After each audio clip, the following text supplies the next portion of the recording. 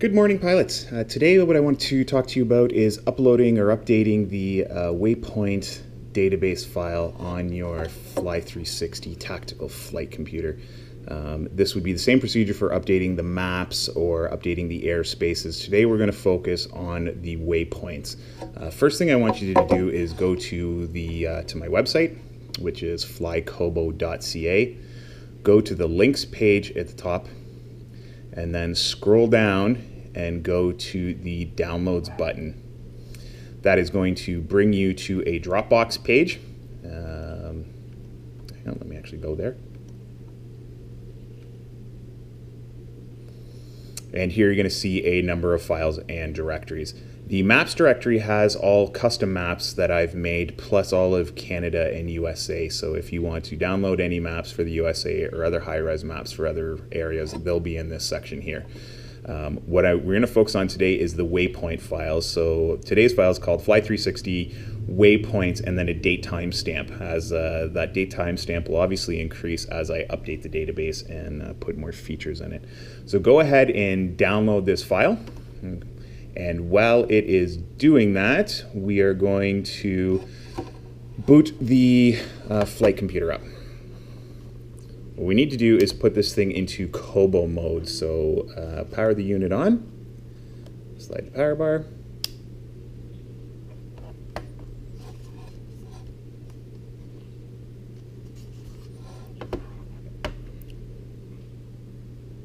All right, while that's booting, let's go to our, uh, our download here.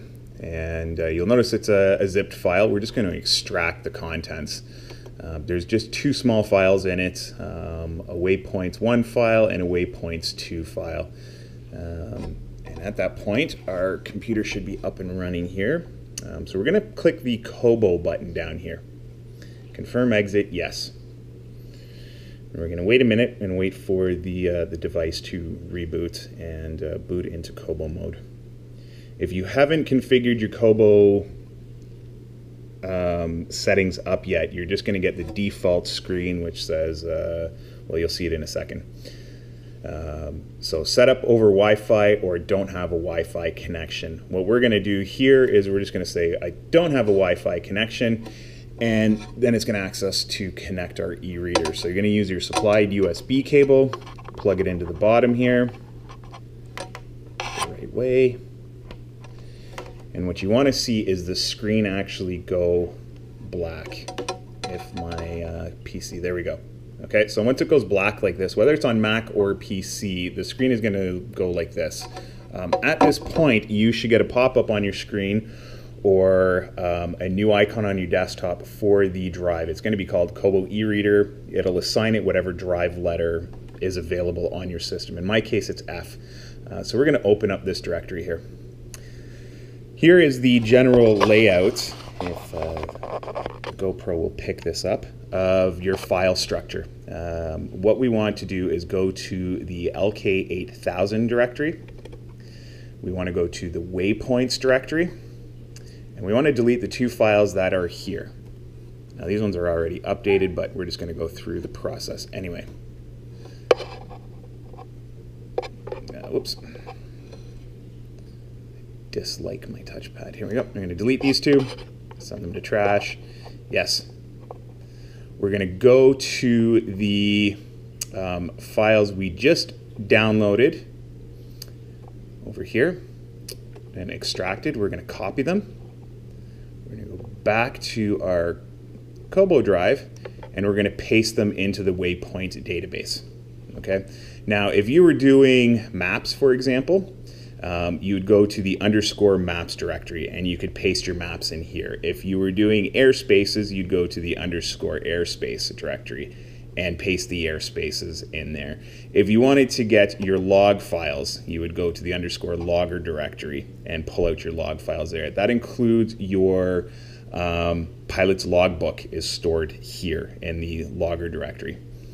Once you've copied the files that you want to copy over, we are going to eject the drive. Um, so on PC, we click down here, safely remove and eject media, and we say eject Kobo e-reader. On a Mac, you're going to drag and drop the um, Kobo reader drive into the trash. Once that's done, we can disconnect the USB cable and uh, give the device a second and it's going to turn back on. At this point, we're just going to slide the power off for a couple seconds until the device turns off. Okay, it's now powered off.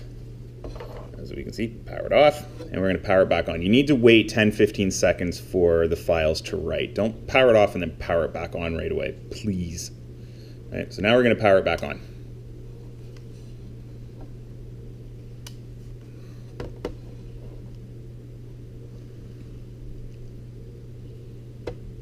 Okay, and this uh, at this point we can go fly or simulate. We're going to go simulation mode because I'm inside. I don't know if I'll get a GPS lock. Well, I probably will. Um, so we're going to go simulate or fly.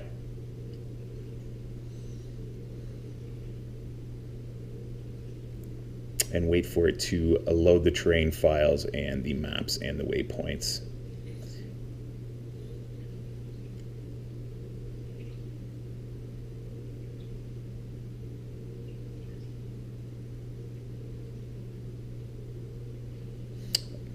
Once we are up and running, what we're going to need to do is go into the configuration mode and point the software to the new waypoint files. Um, so we're going to go down here, we're going to click menu, we're going to go to configuration, configuration again, so we're on config page 2. At the bottom, LK8000 setup,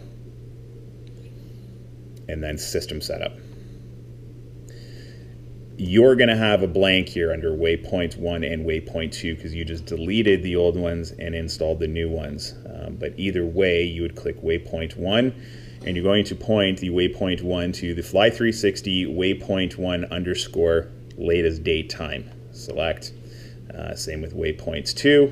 I'm going to put it to uh, point it to the waypoints 2 file. Select. And you're done. You have just updated the waypoint database. If you're updating the airspace file, obviously it would be under airspace 1. If you're updating the maps and the terrains, you would go to the map and the terrain file. And that is it. Okay, any questions, shoot me an email, contact me on Facebook, however, text my cell if you have it, and uh, we'll go from there. Thank you very much.